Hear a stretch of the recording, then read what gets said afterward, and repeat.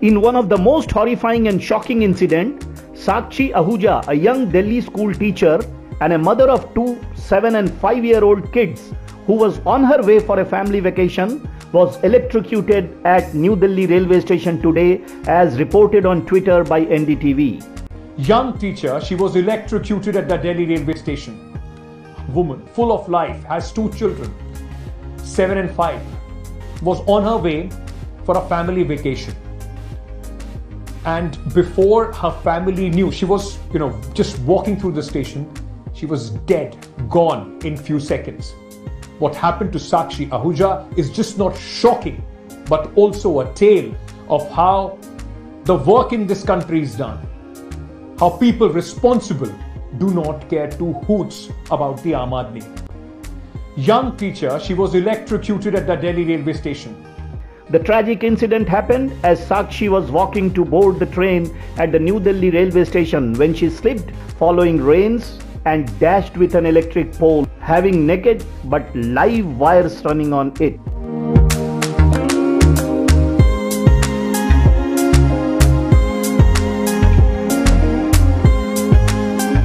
Terribly shocking, but within no time she was electrocuted by high tension live electricity wires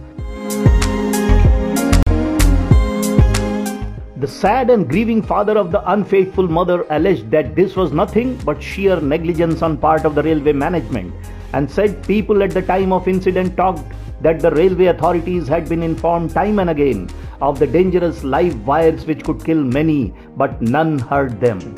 The incident at the parking lot while she headed towards the platform. She was going towards the platform to catch a train for a family holiday.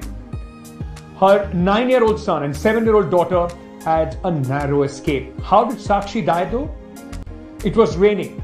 Sakshi was just walking through a water puddle and she got electrocuted because there was a pole right next to that puddle with open wires that caused her death. Her husband says this is negligence at several fronts. The family claims apathy, no help for at least 20 minutes. There was no ambulance available. And the bystanders and the people there say that repeated complaints were made about this open wiring, about this pole, which the railway officials did not heed to. The railway department officials have met, in fact, Sat. Her family has said that it is criminal negligence, apathy.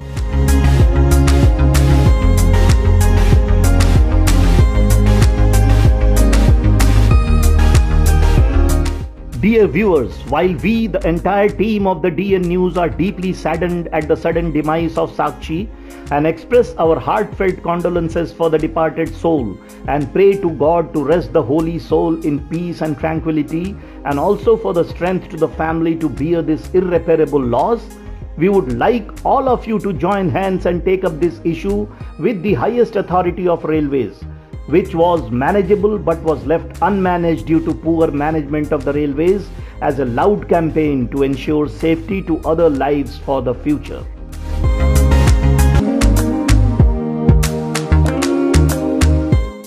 It's really painful and torturous for not only the parents of the family of the deceased but to all of us.